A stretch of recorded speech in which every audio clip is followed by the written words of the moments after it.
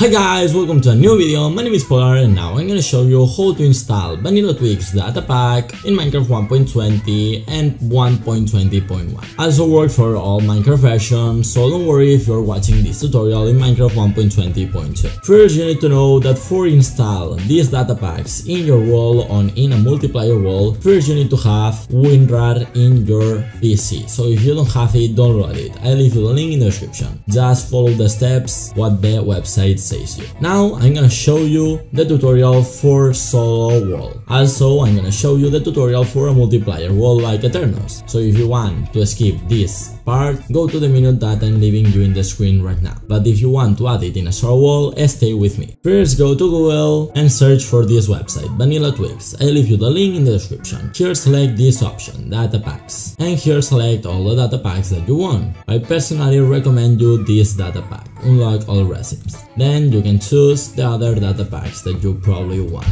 like durability ping, multiplayer sleep or anyone. I love this data pack too, larger phantoms and dragon drops, but you can choose all you want. Armored Elytra looks beautiful, I think that I like it and just search the data packs that you want. Once you have chosen all the data packs that you want, do this. Go to download but don't click on download, click to this arrow and here click on direct download. Nice, now you have your file downloaded. Now just follow my steps. Click on the Windows key and the R key at the same time in your keyboard and here write percent app data like this and then click on OK. Here select this folder, point Minecraft and then select this other folder. Open this other folder.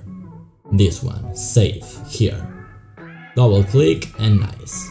Here you have to select the world that you want to add these data packs. In my case, this one. Add it here. You can go to your wall and change the name to locate it better. So nice, double click in the wall that you want and here search for this folder, data packs. Double click and nice. Now you have to add this file here. How so easy, right click on downloads, open in new window and drag the file. Nice, once you drag it, do this. Right click and click on extract here. Once you have it extracted, you have all the data packs. Now just delete this folder, the first folder, Vanilla Tweaks on Theme.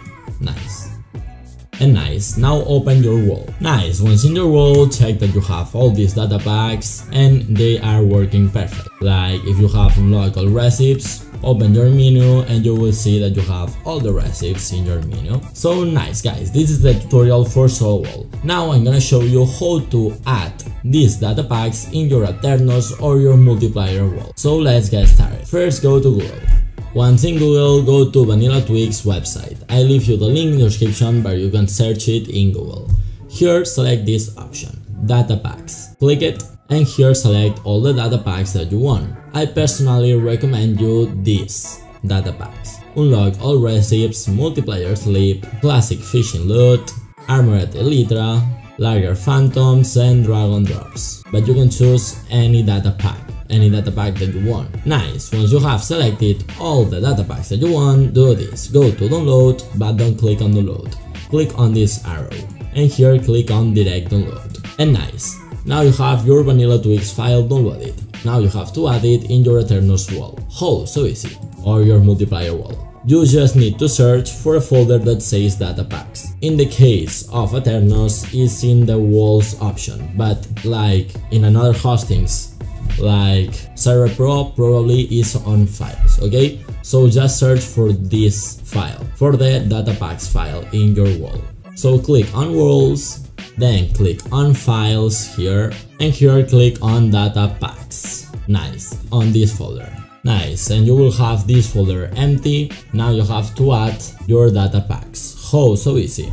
Go to your downloads folder, and here do this. Select the file that you have downloaded and right click and click the right click, okay? Here select this option, extract in and the folder name, just select this option. And now you will have this folder, just open it and here you will have all the data packs that you want to add. So select all this and then drag it here.